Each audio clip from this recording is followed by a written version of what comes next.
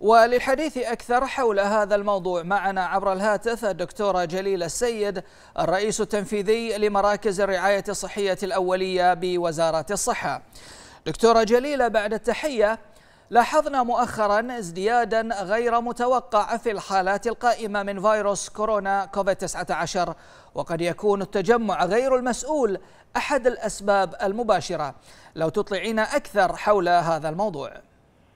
مساء الخير أخوي وإخواني طبعا مثل ما ذكرت إحنا في مرحلة حرجة من زيادة الحالات آه، عشان كذي مهم جدا وندعو المجتمع إنه يتبع كل التعليمات والنصائح والتوصيات الوقائية نواصل بعزم وإصرار آه، في اتباع الإجراءات الاحترازية عشان نمنع انتشار فيروس كورونا وارتفاع الحالات.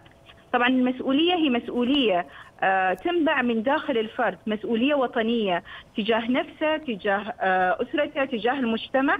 لأن لما يلتزم بمسؤوليته واتباع لهي الإجراءات يسهم إنه يخفف الضغط على جميع الطواقم الطبية، التمريضية، العاملين في الجهات المساندة وحتى المتطوعين من جميع الجهات اللي آه، في الصفوف الأمامية. فمساندتهم مساندة المجتمع لهذه الصفوف الأمامية وكل الجهود اللي يقوم فيها الفريق الوطني الطبي للتصدي فيروس كورونا ممكن نحقق الكثير ولا يمكن أن إحنا نقضي على الفيروس أو نقلل من انتشاره إلا بالشراكة المجتمعية والالتزام المسؤول. لازم نتجنب التجمعات خصوصا في هاي الفترة الحساسة والحاسمه لانها قد تكون فرصة لنقل العدوى، هاي التجمعات قد تكون فرصة لنقل العدوى.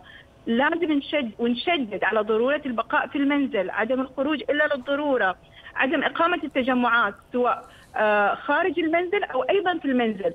الالتزام فقط بإطار الأسرة القريب جدا والواحد في آه، والمباشر آه، عدم مخالطة كبار السن ذوي الأمراض المزمنة حتى لو كانوا في البيت معنا لأن إحنا لازم نتجنب احتمالية نقل العدوى لهم ونحافظ على سلامتهم على نعم. الجميع إن يتحلى بقدر كبير من المسؤولية على المستوى الفردي الأسري المجتمعي لين ما نتخطى مع بعض هاي المرحلة الدقيقة والحساسة لابد من لبس الكمامات غسل اليدين تطبيق كل المعايير اللي تتعلق بالتباعد الاجتماعي والابتعاد عن الزيارات العائلية لأن بهاي في هاي المرحلة نعول على وعي المجتمع بخطورة تو... بخطورة إن عدم عدم التزامه وأيضا آه نعول على وعيهم والتزامهم لأن كل فرد كل فرد في هاي المجتمع يشكل فارق.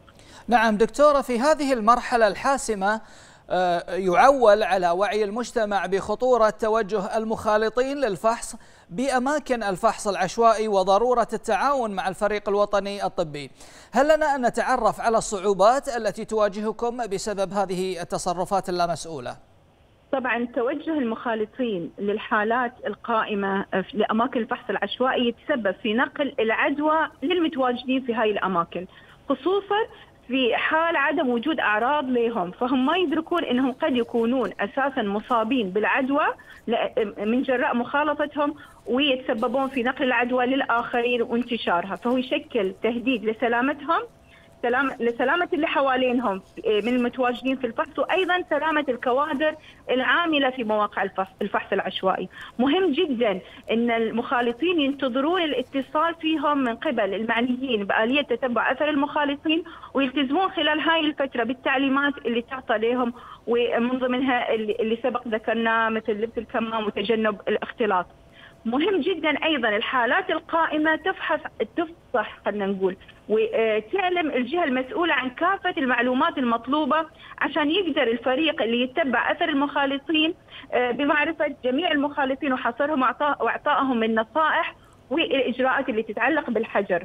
عدم الإفصاح عن المخالطين يعرض يعرضهم نفسهم المخالطين لخطر إن يكون فيهم عدوى والتقليل من الكشف المبكر لهم وأيضا ممكن آه، يتسببون في نقل العدوى للآخرين. توجههم لهذه الوحدات أيضا إجراء غير صحي لأنه يتسبب بالخطورة على المتواجدين ومهم جدا مثل ما سبق وذكرت الالتزام بالتعليمات الطبية، تم وضع آلية مختلفة للحالات آه، ومتابعتها.